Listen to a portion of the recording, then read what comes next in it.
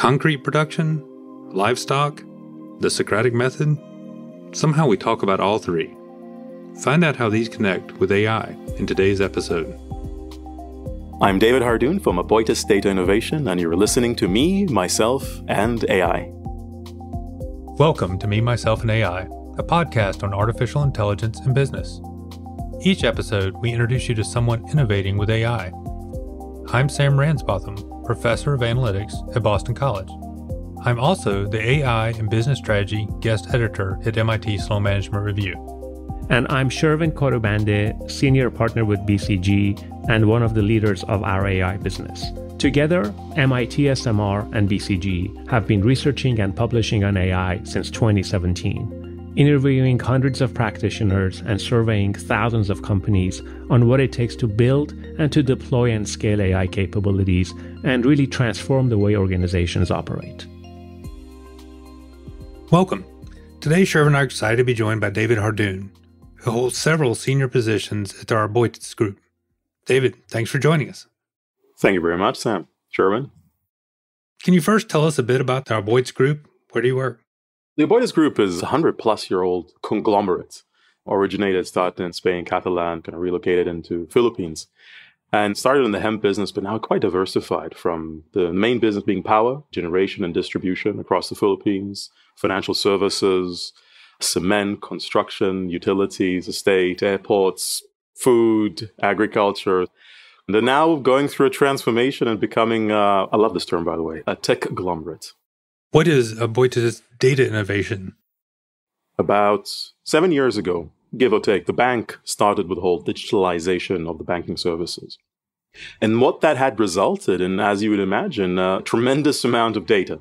The more you engage your consumers digitally, the more you have digital services, well, surprise, surprise, the more data you have.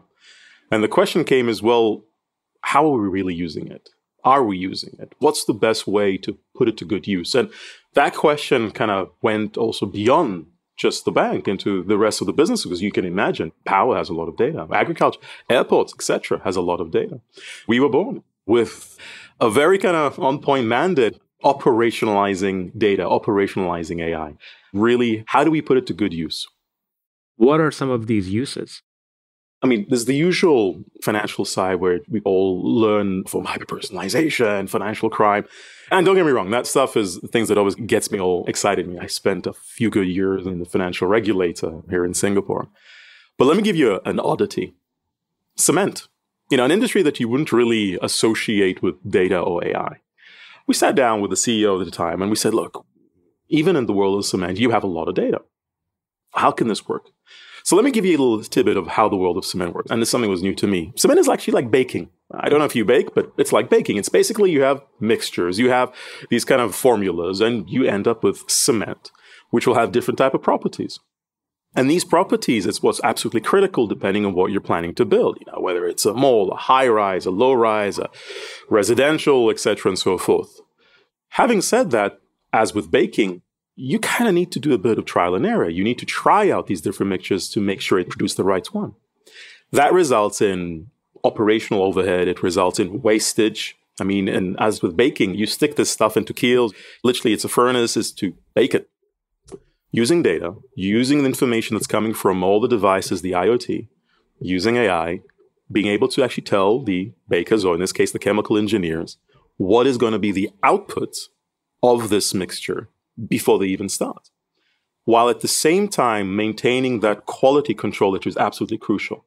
Now, this is, by the way, this is not just hypothetical. This is already operational for the last year in all the plants, about six plants in the Philippines, and results in operational efficiency, results in reduction in number of wastage, resulted in what I like to call quantifiable ESG, you know, 35 kilotons reduction of CO2 emissions. So that's a, a nice, unusual example I like to give in terms of how data is used?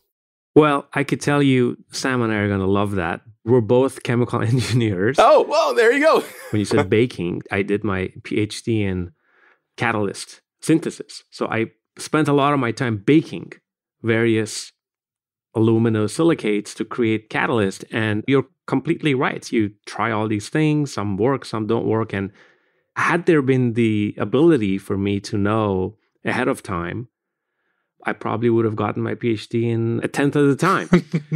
but seriously, this is quite interesting. Now, if you go from personalization and cyber and fraud, and you also have this example in baking cement, then we must believe that there is such a wide portfolio of things that you're considering. So tell us more about what makes it into that portfolio, because there is no end to what you could do.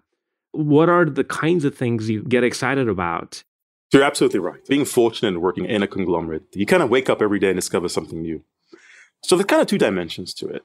On the one hand, and I'm going to go back to this term operationalization and operationalizing data and AI. It's stuff that has to make sense to the business. So revenue, operational efficiency, risk management. And then we have to look at the things around the corner. We have to experiment. But those may not be things that get immediately deployed. Like effectively in agriculture builders, we have uh, animals, we have pig, swine, and poultry.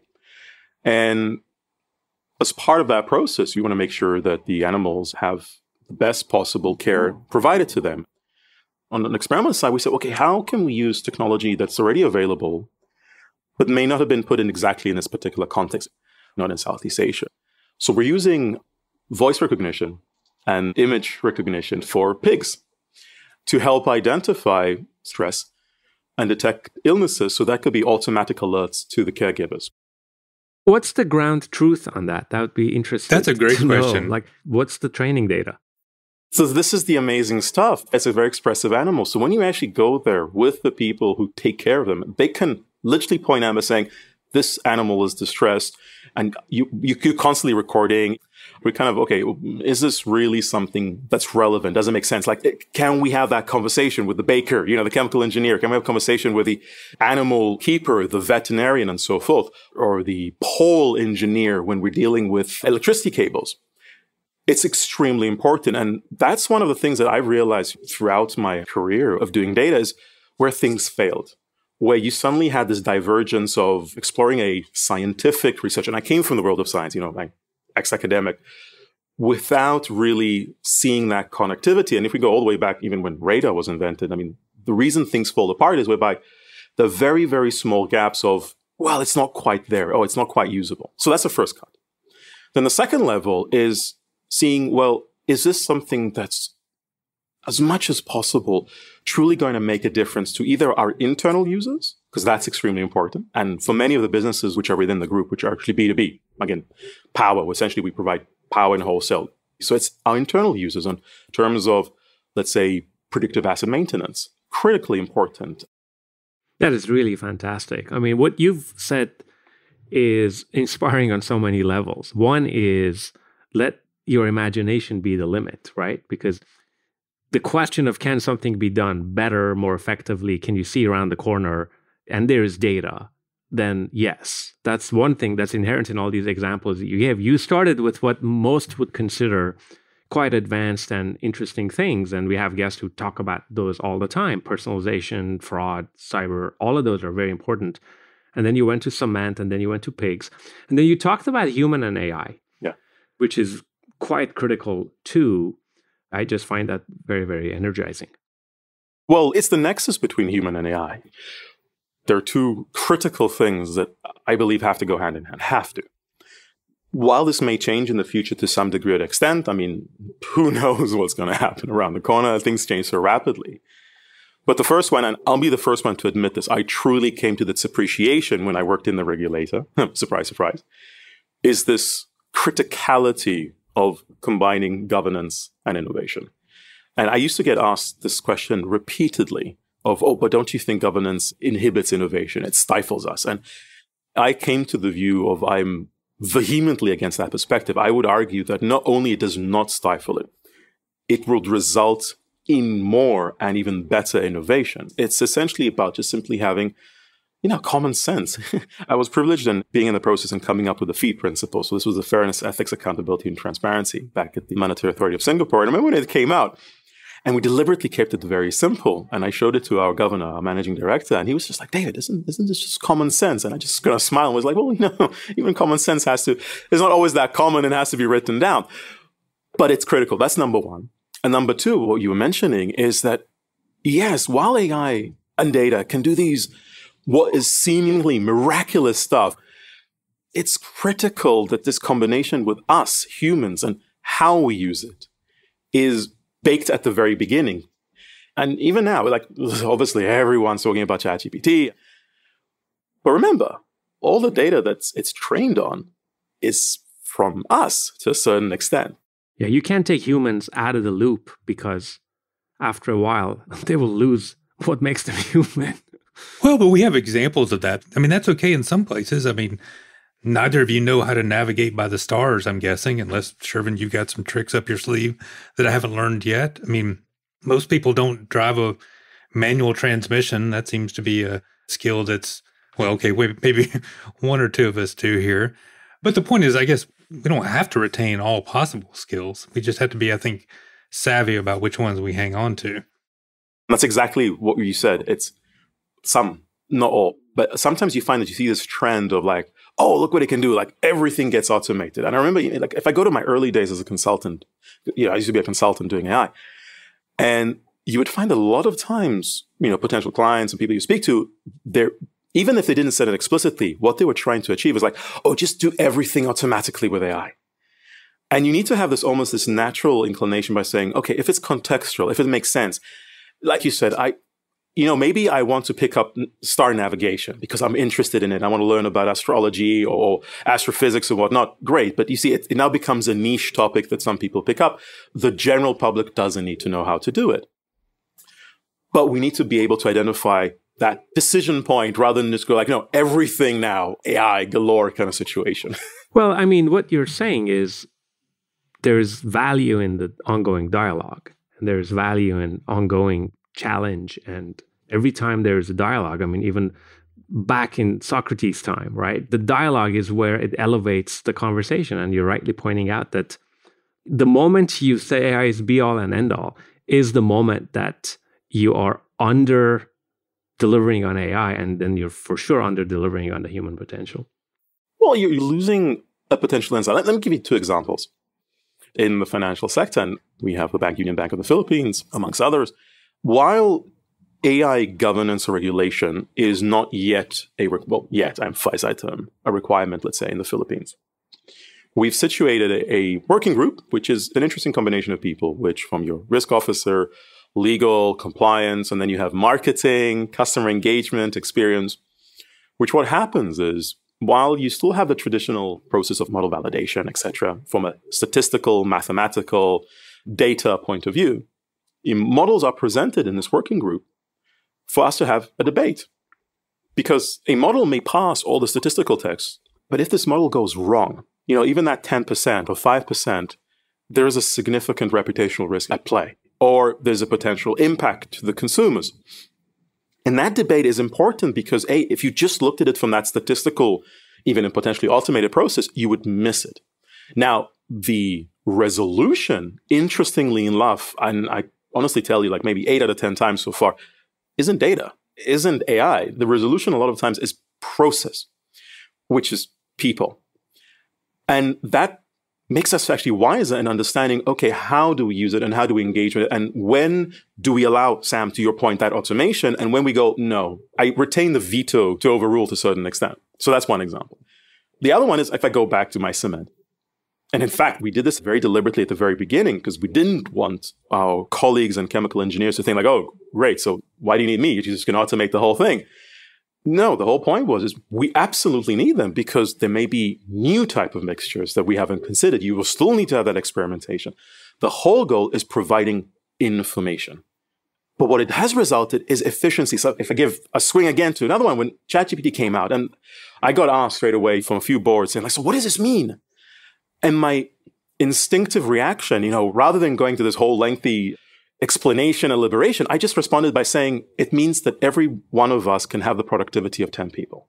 So this is what this stuff means. And that's what that nexus, the dialogue, the integration, the augmentation means is that we now have the ability to be far more productive, whatever productive means in that context, for some people may say, I just want to work two hours, but as if I worked the whole day.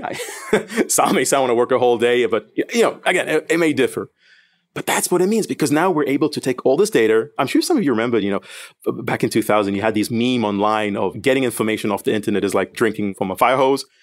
It's still true. We're in inundated with information, you know, with data, but it's, it's like distilling it down to something that's relevant to me, usable, that I can do something with it and get that gain essentially. I think one thing that's coming out of this conversation, I think Shervin used the word Socratic and David used the word dialogue. What's nice about this is it's dropped this hubris that I feel like I see in a lot of machine learning. Machine learning seems to be about humans teaching machines. So it's this sort of we know all, we make the machines emulate us. And if they do, they pass the Turing test. And yes, everything is golden. No, but then you get pushback and you say, oh no, the machine can teach us things we've never known before. Well, that just has switched the direction. It still has that same directional hubris. But the things that you're both talking about are much more the Socratic and dialogue. You think about what can that group form together. And Shervin, I've got some results from last year's research that said about 60% of the people are thinking about AI as a coworker. And that strikes me as that sort of a relationship because between the two, yes, you find some new compound that maybe someone wouldn't have tried. I don't know what the chemical engineering equivalent of the Fosbury flop is. Do you remember the Fosbury flop where he learned the different way of jumping over the high bar and then suddenly everyone else adopted that technique? That sort of idea seems like it could come out of this approach. It's actually really interesting you bring that up. And I mean, I'd, I'd love to say like, you know, yeah, we had this all intended in the very beginning, but I'll be very honest to say, like, I think it's more of a, a nice uh, consequence that wasn't fully intended in point in time. But I want to go back to that FEAT principle. One of the principles resulted in a lot of discourse, and I mean a lot, where we had a statement amongst all of them that said that we should hold AI to at least the same standard as human decisions. So AI based decisions should be held to at least the same standard as human based decisions. And the debate was phenomenal. It said like, no, no, no, we should hold it to a higher one and, and et cetera and so forth. But what was the intention of that principle was saying is, if you're using now, like, so let me go back to again, let's say financial and loan provisioning. And if you're using an AI algorithm and you're finding that, oh, we're discriminating. Okay, yeah, absolutely. That's something that needs to be addressed, reviewed, and corrected. But hold on your horses there. Take a step back. Take the AI out of the equation. Have you been discriminating before the AI? And that's really the question because, and I remember I had a, a long debate with many regulators. I mean, again, maybe debate's the wrong word, uh, discussions with many regulators. And I was actually a bit opposed to regulating AI. And I'll explain what I mean by that. I'm not opposing regulation. But when they said regulating AI, I got a bit defensive. I said, what I'm worried about that is that we were like, okay, well, since AI now is showing me all this stuff that I don't want to know about, then I'm just not going to use AI. And we're going to go back to the same procedures previously, which guess what? It's the same problem. It's just you just weren't paying attention to it because that information, that knowledge wasn't bubbled up to the surface. So what I kept on kind of arguing is that yes, the regulation has to be in play. And yes, there may be certain scenarios whereby AI requires higher scrutiny, but the regulation is still on the outcome. The regulation is still on the fact that for example, say a case of discrimination, you should not be discriminating. Whether you're using a human-based process or an AI-based process is kind of besides the point. But I just want to emphasize that point, Sam, because it really goes back to what you were saying of it's teaching us now things that we may have been, let's say, sometimes consciously ignorant of, sometimes uh, inadvertently unaware of. David, tell us about your background. How did you end up where you are? If I roll back all the way to the beginning, and, and I kind of say this again with a big smile myself, how to end up where I am? Detention. That's how I ended up here. I must have been, what, 14, 15, 16 years old. And I got sent to uh, the library because of detention. And, you know, if you're in a library, you have nothing better to do. I picked up a book on Prolog. And I don't ask me why. From all the books I could have picked up, I picked up one about Prolog. And this is really before knowing anything about the whole world of well, I guess in that case, it was be expert based systems. And I started reading and I just couldn't put it down. And that kind of triggered this exploration of how can we better capture knowledge? How can we better learn? And that obviously resulted in kind of learning a bit more about neural networks, AI. In fact, I was one of the first two students who took the degree of computer science with artificial intelligence. It was literally brand new from that perspective. My PhD thesis was about semantic models. So literally the representation and encapsulation of knowledge effectively and information was on learning musical patterns, music, or generating music from brain patterns. And the whole idea about that is essentially providing expert-based systems knowledge, if you think about it in that way, for people, let's say, who can't sit in front of a piano and play, but are fully capable cognitively. So that's kind of what brought me here. I know it's a very weird kind of journey, but yeah, I need to thank my uh, literacy teacher. Thank you for sending me to detention. Okay, so uh, we've got a segment where we're going to ask you some quick questions. What are you proudest of in terms of artificial intelligence? What have you all done that you're proudest of? Where to begin? What I'm most proud of is the way we've been able to graduate, and I, I literally mean that, from the academic world to the industrial world. What worries you about AI? You've mentioned some worries today, but what worries you? What worries me is I don't think we're fully appreciating what we're creating. I think we need to head on with the realization of what we're creating and what we're seeding for possibilities, for good and for bad.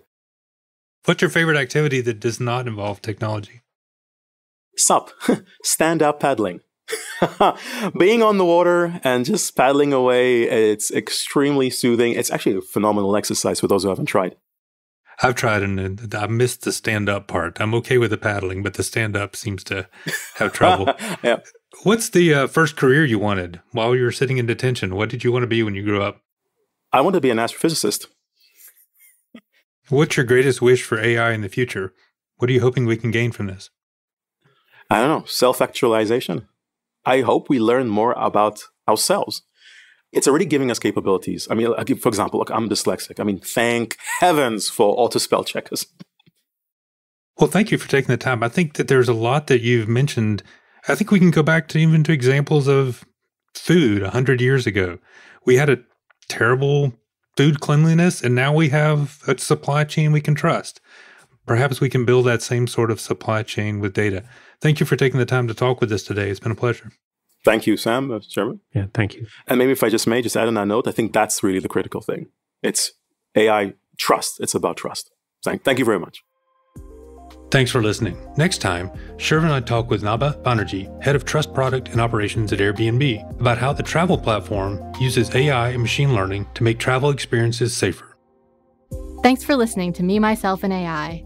We believe, like you, that the conversation about AI implementation doesn't start and stop with this podcast. That's why we've created a group on LinkedIn specifically for listeners like you. It's called AI for Leaders. And if you join us, you can chat with show creators and hosts, ask your own questions, share your insights, and gain access to valuable resources about AI implementation from MIT SMR and BCG. You can access it by visiting mitsmr.com forward slash AI for Leaders. We'll put that link in the show notes, and we hope to see you there.